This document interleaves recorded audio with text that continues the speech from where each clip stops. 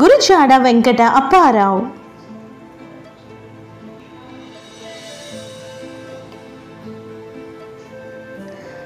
దేశం అంటే మట్టి కాదోయ్ దేశం అంటే మనుషులోయ్ అని ఎలుగెత్తి చాటిన తెలుగు వైతాళికుడు శ్రీ గురుజాడ అప్పారావు.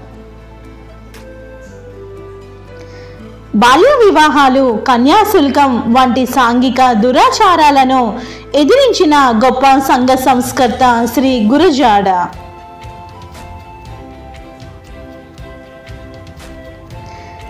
కన్యాశుల్కం దురాచారాన్ని ప్రతిఘటిస్తూ శ్రీ గురుజాడ రాసిన గొప్ప నాటకం కన్యాశుల్కం.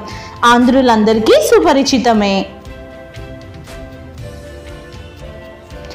దేశమును ప్రేమించమన్నా అని కుల మత వర్గ విభేదాలను రూపుమాపేందుకు శ్రీ గురుజాడ ఎనలేని కృషి చేశారు.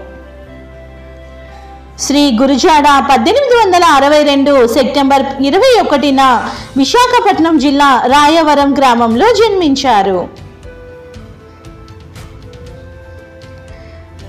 బెంగాలీ భాషకు ఠాగూర్ లాగా తెలుగు భాషోద్ధరణకు తెలుగు వ్యవహారిక భాష వినియోగానికి శ్రీ గురుజాడ ఎనలేని కృషి చేశారు.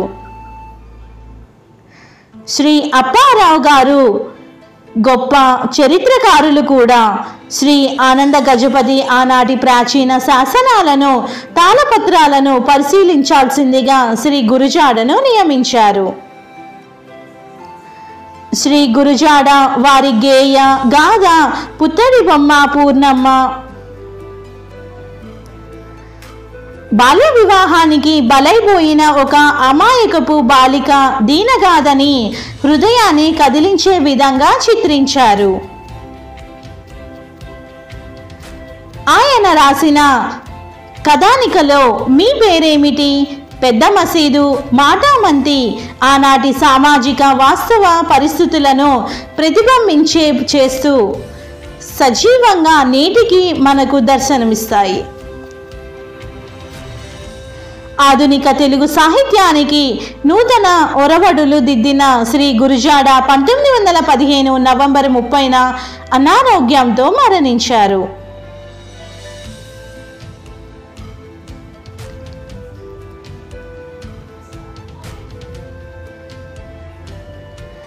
మరిన్ని వీడియోల కోసం నా ఛానల్ని సబ్స్క్రైబ్ చేసుకోండి లైక్ చేయండి షేర్ చేయండి.